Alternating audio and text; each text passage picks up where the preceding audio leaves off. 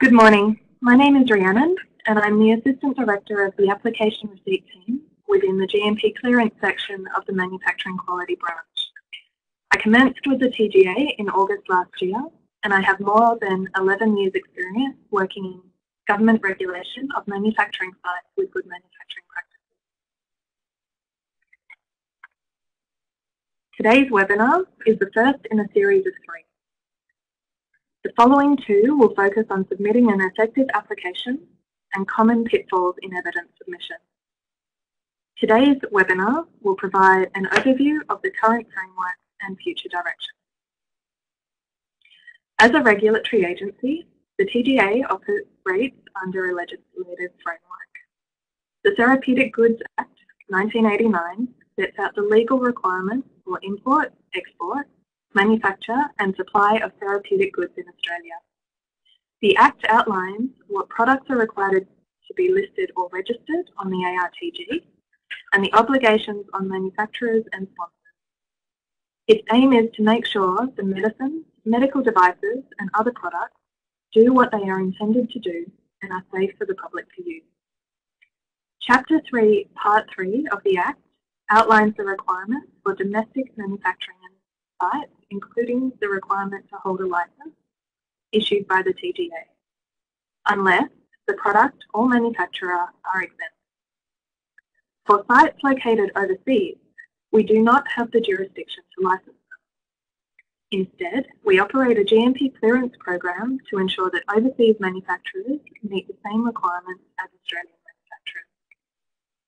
As there is no specific legislative basis for this, the GMP clearance process operates slightly differently. The activities we undertake are designed to demonstrate that sponsors are meeting their obligations under paragraphs 25, 26 and 26A as outlined on this slide. A GMP clearance is a tool used to confirm that these requirements have been assessed and the manufacturers nominated are suitable for being recorded against a product registration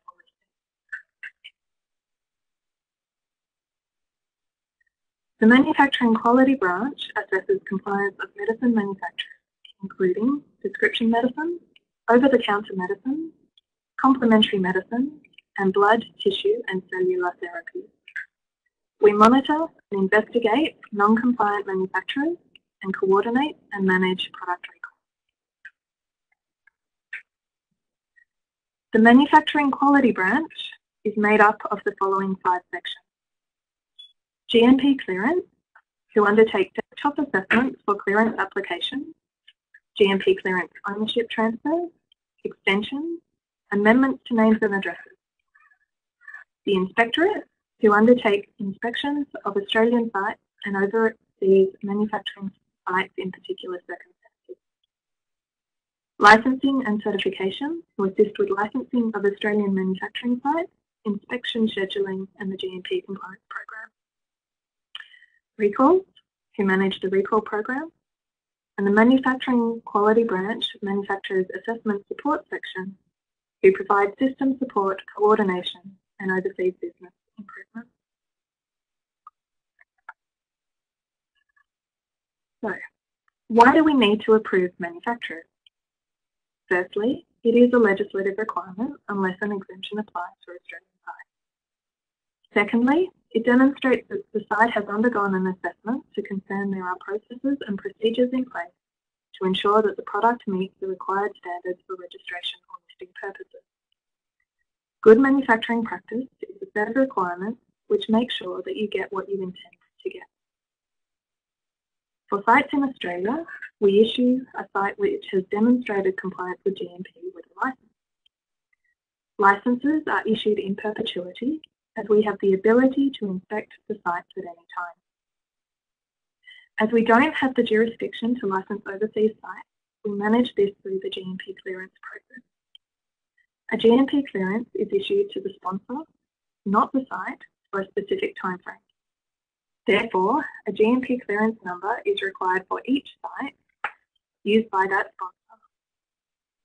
A sponsor cannot use a GMP clearance issued to another sponsor for their product registration purposes.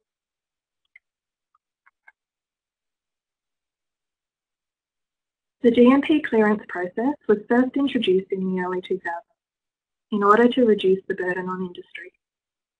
This process now provides an alternate route to having a TGA inspector inspect every overseas site on a 12 to 48 month schedule. GMP clearance is a non-statutory mechanism, however it is a requirement for submitting a registration or listing application. The GMP clearance process has reduced the cost involved in compliance and continues to evolve to keep pace with changes in the global regulatory environment. We work closely with other regulatory authorities to promote harmonisation. There are two pathways to obtain a GMP clearance, the desktop pathway and the on-site inspection pathway. The desktop pathway has two options, depending on the location of the manufacturing facility and who has inspected the site.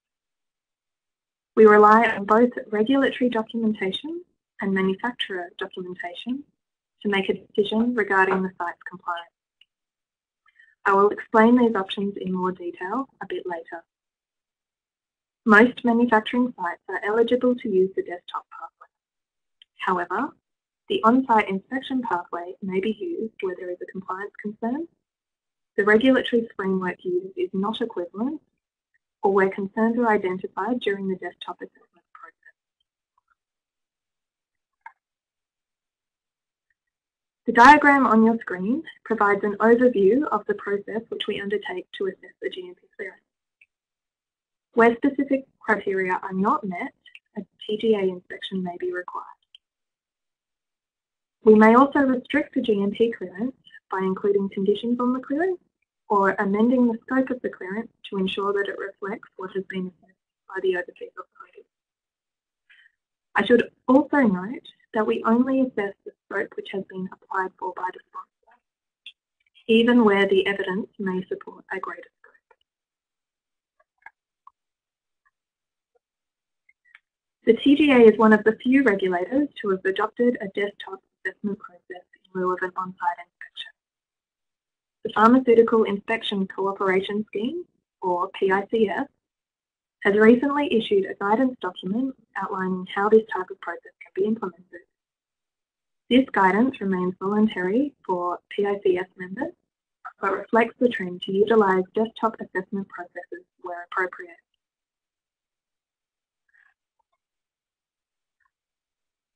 We have entered into a number of arrangements with overseas regulators. The type of agreement in place influences what information we require, how we use the information, and in what circumstances. For example, under the Mutual Recognition Agreement, we review certificates issued by the recognised regulatory authority for sites within their own borders. If a site is located outside of their borders, then we require further information to be provided for assessment. We also have memorandums of understanding and cooperation agreements in place with various authorities. We are a member of the Pharmaceutical Inspection Cooperation Scheme. This is a non-binding cooperative arrangement with other recognised authorities. This membership allows us in certain circumstances to assess information using the compliance verification clearance pathway. We consider the quality of the documentation, where the inspection was undertaken, and when the inspection occurred when determining if we will accept the evidence.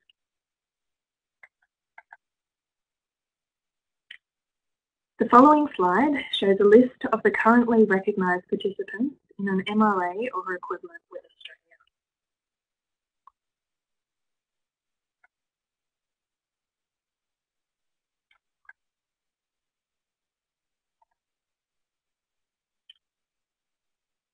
For desktop assessment, we have two application options. One is the MRA pathway and the other is the compliance verification or CV pathway. Under the MRA pathway, we accept compliance of an overseas site with the local GMP requirements based on an assessment of a current GMP certificate, provided that the manufacturer is located within the border of the MRA partner, the GMP standard is equivalent for example, we don't recognise the cosmetic standards for sunscreen manufacture or food standards for vitamin manufacture. The GMP certificate is current. That is, the site has generally been inspected in the last three years or specifies a particular expiry date later than the application was submitted. And the certificate covers the scope of the application, that is, the product type. We do undertake liaison with overseas regulators to obtain GMP certificates. This is a specific service available where a certificate may not be available to the sponsor. This activity is cost recovered and involves us contacting the overseas authority to seek a copy of the certificate. For information, the sponsor needs to select this, this option as part of their application, where they would like the TGA to obtain the GMP certificate on their behalf. The CV pathway allows sites who are located in a country not covered under an MRA to provide evidence for it involves a detailed assessment of specific evidence. The evidence requirements are based on the risks associated with the products being manufactured and include documents from the regulatory authority, such as certificates and inspection reports, documents from the manufacturer, such as site master files, validation master plans, release procedures, as well as documents from the sponsor, like product lists and GMP agreements. The documents aim to bridge gaps between the regulatory framework to ensure that the TGA's manufacturing standard requirements are met. As mentioned previously, the types of documents required are based on risk. When determining the types of documents required, we consider the location of the manufacturer, who undertook the inspection, and what type of agreement we have in place with the inspecting authority, as well as the risk or complexity of the products and process. A sterile finished product is considered to be of a higher risk and complexity than a non-sterile API. Therefore, the documentation requirements are greater for a sterile product than for a non-sterile API. The document requirements are outlined within the GMP clearance document. A link to this document will be provided later on in the presentation. The evidence requirements are updated when there are changes to the international regulatory environment and as GMP requirements are updated.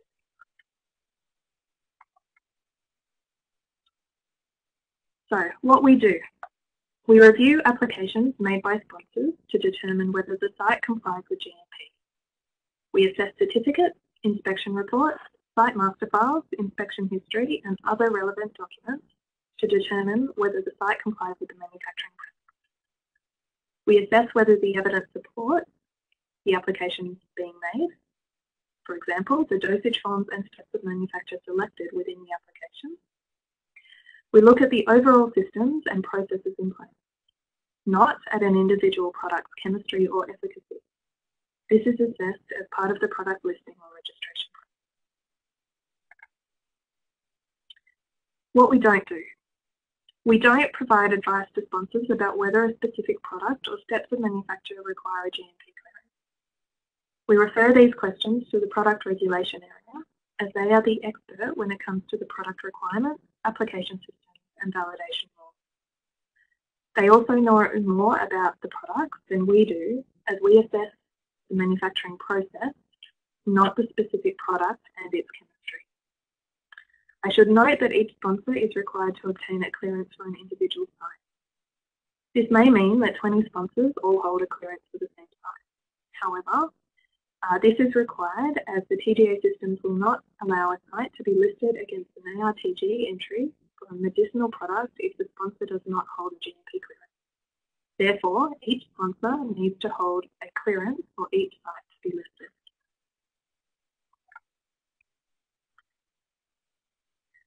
In 2017, the GMP clearance section undertook some major changes to the GMP clearance process.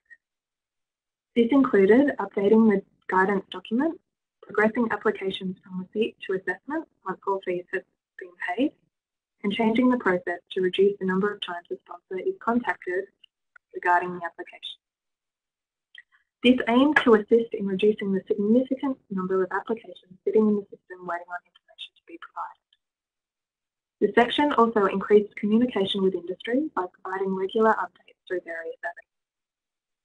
This has resulted in a reduction in the number of invoices being raised, a reduction in email correspondence with sponsors, and improves the quality of the applications. Better quality applications enable us to more efficiently assess the application.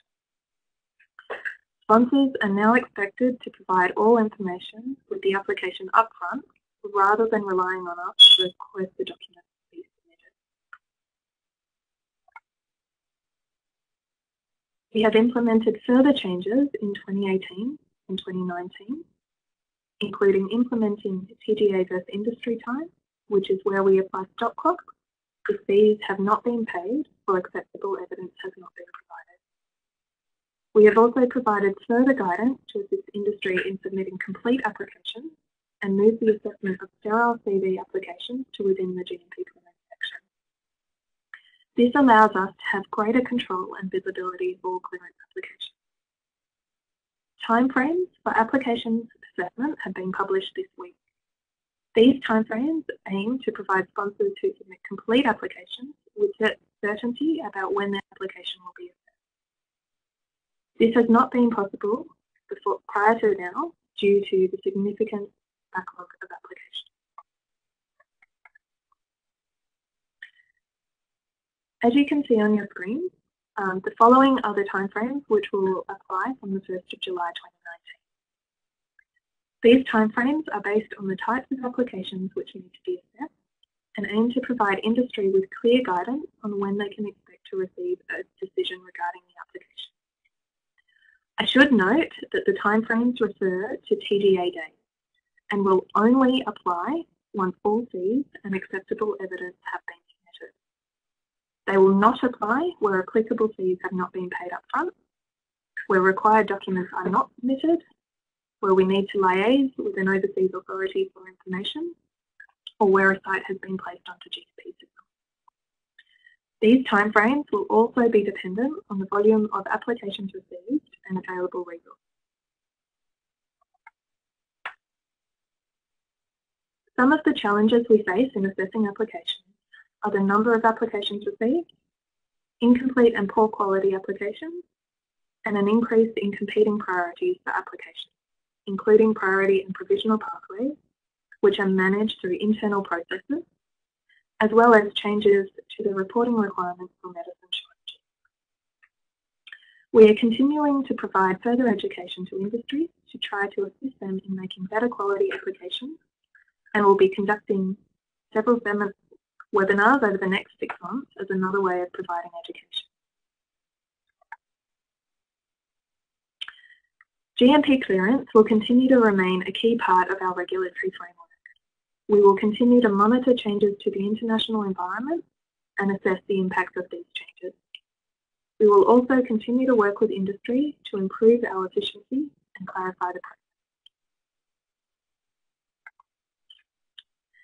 Key information is contained on the following web pages.